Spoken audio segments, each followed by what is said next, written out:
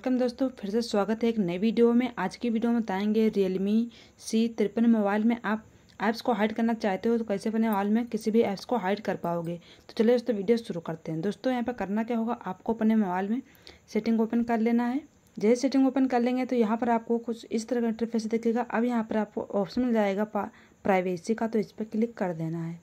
जैसे इस पर क्लिक करेंगे तो यहाँ पर आपको फिर से प्राइवेसी पे क्लिक कर देना है। अब यहाँ पर आपको हाइड ऐप्स पे क्लिक कर देना है।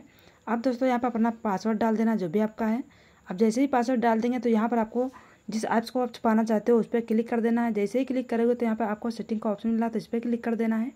अब दोस्तों यहाँ पर अपना एक चार अंकों का कोई भी कोड बना लेना है। तो सबसे पहले हज दबाना है, फिर अपना कोई भी चार अंकों का कोड फिर से हज ये ध्यान रखना कि आप दोनों तरफ़ हज ज़रूर दबाना है। अब ऊपर आपको राइट पे क्लिक कर देना है। अब यहाँ पर आपको डन कर देना है। डन करने के बाद दोस्तों, अब आप जिस ऐप्स को हाइड करना चाहते हो, उसको इनेबल कर देना है। जैसे इनेबल कर दोगे तो आपके मोबाइल में जो है ऐप्स हाइड हो जाएँगे।